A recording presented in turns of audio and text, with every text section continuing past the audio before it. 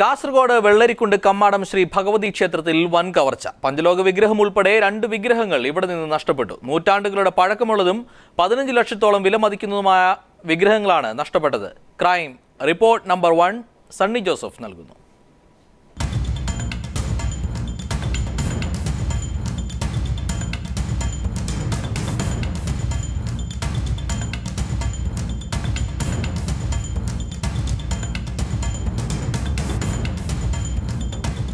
ഇത് രണ്ടാം തവണയാണ് കാസർഗോഡ് വെള്ളരിക്കുണ്ടിലെ കമ്മാടം ശ്രീ ഭഗവതി ക്ഷേത്രത്തിൽ നിന്നും ദേവീ പ്രതിഷ്ഠയായ പഞ്ചലോഹ വിഗ്രഹം കവർ ചെയ്യുന്നത്. ആയിരത്തി തൊള്ളായിരത്തി എൺപത്തി മൂന്നിൽ കവർ ചെയ്യപ്പെട്ട വിഗ്രഹം ആയിരത്തി തൊള്ളായിരത്തി തൊണ്ണൂറ്റി മൂന്നിൽ ചെറുപുഴയ്ക്ക് സമീപം വനത്തിൽ ഒളിപ്പിച്ചു വെച്ച നിലയിൽ പിന്നീട് കണ്ടെത്തി. ശുദ്ധികലശത്തിന് ശേഷം പ്രതിഷ്ഠ നടത്തിയ പഞ്ചലോഹ വിഗ്രഹമാണ് വീണ്ടും കവർ ചെയ്തത്. ഇതോടൊപ്പം ഓടിൽ നിർമ്മിച്ച മറ്റൊരു വിഗ്രഹവും കവർച്ചക്കാർ കൊണ്ടുപോയതായി ക്ഷേത്രം trust board chairman K Jayadevan പറഞ്ഞു. ആറേകാലോട് ഇന്ന് രാവിലെ ആറേകാലോടെയാണ് കുറച്ച് ശ്രദ്ധയിൽപ്പെട്ട് ഇവിടുത്തെ അന്ത്യത്തീരം വന്ന് വിളിച്ച് പറഞ്ഞു ട്രസ്റ്റി ബോർഡ് മെമ്പറിന്റെ വീട്ടിൽ പറഞ്ഞു അയാൾ എന്നെ വിളിച്ച് ഞാൻ എന്നിട്ട് ഇവിടത്തേക്ക് വന്നത് അപ്പം വന്ന സമയത്ത് ഉള്ളിൽ കയറി നോക്കുമ്പോഴത്തേക്ക് അകത്തുള്ള വിഗ്രഹവും രണ്ട് വിഗ്രഹങ്ങൾ പോയിട്ടുണ്ട് വാതിൽ കട്ട് ചെയ്ത്. കട്ട്ല കട്ട്ലയുടെ സൈഡിൽ കുത്തി മുടിച്ചിട്ട് വാതിൽ തിക്കി പൊളിച്ചിട്ടാണ് കയറിയിരിക്കുന്നത്. നാലുകെട്ടിനുള്ളിൽ കടന്ന് വാതിൽ പൊളിച്ചാണ് കവർച്ചക്കാർ ശ്രീകോവിലിൽ പ്രവേശിച്ചത്. വെള്ളിയിൽ നിർമ്മിച്ച വിഗ്രഹങ്ങൾ കൊണ്ടുപോയിട്ടില്ല. നൂറ്റാണ്ടുകളുടെ പഴക്കമുള്ള കമ്പാടം ശ്രീ ഭഗവതി ക്ഷേത്രം ഇപ്പോൾ മലബാർ ദേവസ്വം ബോർഡിന് കീഴിലാണ്.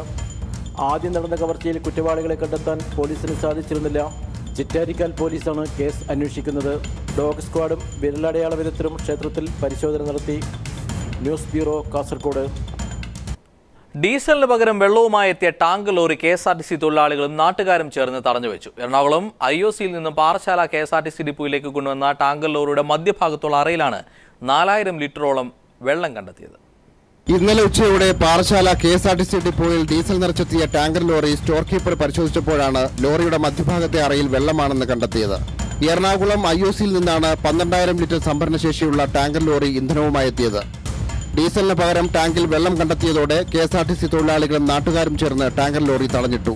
ഇത് പാറശാല മാത്രമല്ല കേരളത്തിലെ മുഴുവൻ ഡിപ്പോകളിലും ഇത്തരത്തിൽ വിതരണം ചെയ്തുകൊണ്ട് കെ എസ് ആർ ടി സിയെ തകർക്കുന്ന തരത്തിലുള്ള ഒരു വൻ കൊള്ളയാണ് ഈ diesel വിതരണത്തിലൂടെ K S R T C അധികാരികളും അതുപോലെ തന്നെ ഇന്ത്യൻ ഓയിൽ കോർപ്പറേഷന്റെ മേധാവികളും ചേർന്ന് വർഷങ്ങളായി നടത്തിക്കൊണ്ടിരിക്കുന്നത്.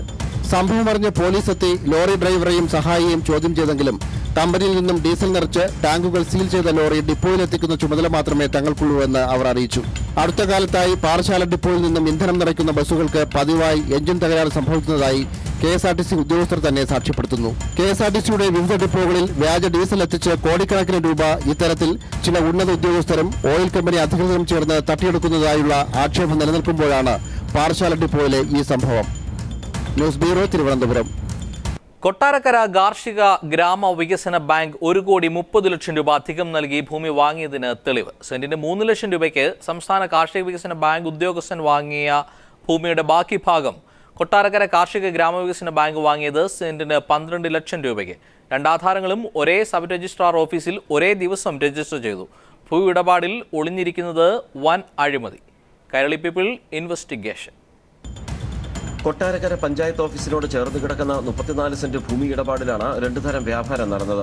കൊട്ടാരക്കര സ്വദേശി എം കെ തോമസിന്റെ ഉടമസ്ഥയിലാണ് ഭൂമി. സംസ്ഥാന കാർഷിക വികസന bank assistant manager John Varghese പത്തൊമ്പത് സെന്റ് ഭൂമി സെന്റിന് മൂന്ന് ലക്ഷം രൂപ വീതം നൽകി അൻപത്തേഴ് ലക്ഷത്തി അമ്പത്തയ്യായിരം രൂപയ്ക്ക് വാങ്ങിയപ്പോൾ അതേ ദിവസം കൊട്ടാരക്കര കാർഷിക വികസന ബാങ്ക് ബാക്കി വരുന്ന പതിനഞ്ച് സെന്റ് ഭൂമി വാങ്ങിയത് ഒരു കോടി എൺപത് ലക്ഷം രൂപ നൽകി. സ്റ്റാമ്പ് ഡ്യൂട്ടി ഇളവ് വേണമെന്നാവശ്യപ്പെട്ട് ബാങ്ക് അപേക്ഷ സമർപ്പിച്ചപ്പോൾ ജില്ലാ രജിസ്ട്രാർ ഇത് തള്ളിക്കൊണ്ട് ഉത്തരവിറക്കി. സ്റ്റാമ്പ് ഡ്യൂട്ടി ഇനത്തിൽ പത്ത് ലക്ഷത്തി എൺപതിനായിരം രൂപ അടയ്ക്കാത്ത പക്ഷം ബാങ്കിനെതിരെ റവന്യൂ റിക്കവറി നടപടി സ്വീകരിക്കുമെന്നും ഉത്തരവിൽ പറയുന്നു.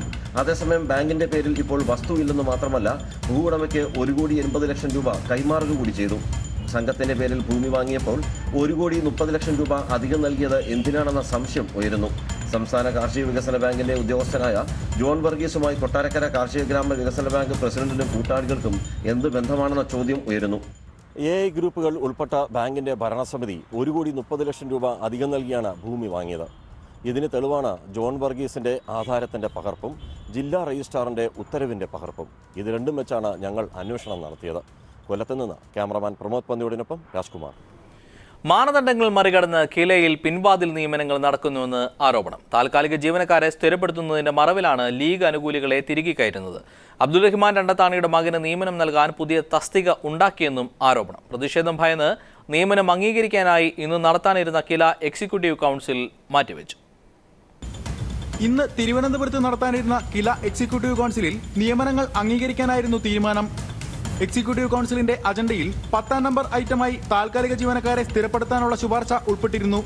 അബ്ദുൾ റഹ്മാൻ രണ്ടത്താണി എം എൽ എയുടെ മകൻ ഇംതിയാസ് അലിയെയും ലീഗ് പ്രവർത്തകൻ റിയാസ് മോനിയും അസിസ്റ്റന്റ് പ്രൊഫസർ തസ്തികയിൽ നിയമിക്കാൻ നിർദ്ദേശമുണ്ട്. എന്നാൽ കിലയിൽ അസിസ്റ്റന്റ് പ്രൊഫസറുടെ തസ്തിക ഇല്ലെന്ന് മാത്രമല്ല ഇവർ രണ്ടുപേരും കിലയിലെ താൽക്കാലിക ജീവനക്കാർ പോലുമല്ല. രാജീവ് ഗാന്ധി പഞ്ചായത്ത് ശക്തി അഭിയാൻ പ്രോജക്റ്റിൽ കരാറുകാർ മാത്രമായിരുന്ന ഇവർക്കാണ് നിയമനം നൽകാൻ ഒരുങ്ങുന്നത്. ഇവരുടെ കയ്യിൽ നിന്ന് ഒരു അപേക്ഷ എഴുതി വാങ്ങിച്ചു. കിലയിലെ എക്സിക്യൂട്ടീവ് കമ്മിറ്റിയുടെ ശുപാർശയായി സർക്കാരിന് കൊടുത്ത് ഈ നിയമനം നടത്താൻ വേണ്ടിയാണ് ലീഗിന്റെ സമ്മർദ്ദം ഉണ്ടായിട്ടുള്ളതെന്നാണ് മനസ്സിലാക്കുന്നത്. കിലയിൽ ഇപ്പോൾ അസിസ്റ്റന്റ് പ്രൊഫസറുടെ തസ്തികയില്ല. മാനദണ്ഡങ്ങൾ പ്രകാരമുള്ള വിദ്യാഭ്യാസ യോഗ്യതയും ഇവർക്കില്ല. രണ്ടു വർഷം മാത്രം ജോലി ചെയ്ത ലീഗ് പ്രവർത്തകരെയും നിയമനത്തിന് ശുപാർശ ചെയ്തു. പത്ത് വർഷത്തിലേറെയായി തുടരുന്ന താൽക്കാലിക ജീവനക്കാരെ മറികടന്നാണ് അനർഹരെ നിയമിക്കാൻ നീക്കം നടക്കുന്നത്. പ്രതിഷേധം ഭയന്ന് നിയമനം അംഗീകരിക്കാനായി ഇന്ന് നടത്താനിരുന്ന എക്സിക്യൂട്ടീവ് കൗൺസിൽ മാറ്റിവെച്ചു. എന്നാൽ പ്രിൻസിപ്പൽ സെക്രട്ടറി സ്ഥലത്തില്ലാത്തതാണ് യോഗം മാറ്റാൻ കാരണമെന്നാണ് അധികൃതരുടെ വിശദീകരണം. News bureau Thrissur. പെൺകുട്ടികൾ ലെഗിൻസ് ഉപയോഗിക്കുന്നതിനെതിരെ കഥാകൃത്തും ബുക്ക് മാർക്ക് എം ഡിയുമായ ബാബു കുഴിമറ്റം ഫേസ്ബുക്കിലിട്ട പോസ്റ്റ് വിവാദത്തിലേക്ക്. പുരുഷന്റെ നിയന്ത്രണം തെറ്റിക്കുന്നതാണ് ലെഗിൻസ് ധരിക്കുന്ന സ്ത്രീകളെന്ന പരാമർശത്തിനെതിരെ വ്യാപക വിമർശനങ്ങളാണ് ഉയരുന്നത്. ഏതൊരു പുരുഷന്റെയും നിയന്ത്രണം തെറ്റിക്കുന്നതാണ് ലെഗിൻസ് ഇട്ട് പോകുന്ന സ്ത്രീകൾ എന്ന വിശേഷണത്തോടെയുള്ള ഫേസ്ബുക്ക് പോസ്റ്റിൽ ഉടനീളം അതിരൂക്ഷമായ വിമർശന പദങ്ങളാണ് ഉപയോഗിച്ചിരിക്കുന്നത്. ലെഗിൻസ് ഇട്ട സ്ത്രീകൾ ദർശനോത്സവമാണെന്നും പുരുഷനിൽ ലിംഗചലനമുണ്ടാക്കുമെന്നും പറയുന്ന ബാബു കുഴിമറ്റം ഇതിനായി സ്വാനുഭവവും വിവരിക്കുന്നുണ്ട്. തിരുവനന്തപുരം അമ്പലമുക്കിലൂടെ സർക്കാർ അനുവദിച്ച കാറിൽ യാത്ര ചെയ്യവേ ചെറുപ്പക്കാരനായ ഡ്രൈവർക്ക് പെട്ടെന്ന് നിയന്ത്രണം തെറ്റിയെന്നാണ് പറയുന്നത്. ലെഗിൻസിട്ട സ്ത്രീശരീരമാണത്രേ ചെറുപ്പക്കാരന്റെ ശ്രദ്ധയെ തെറ്റിച്ചത്.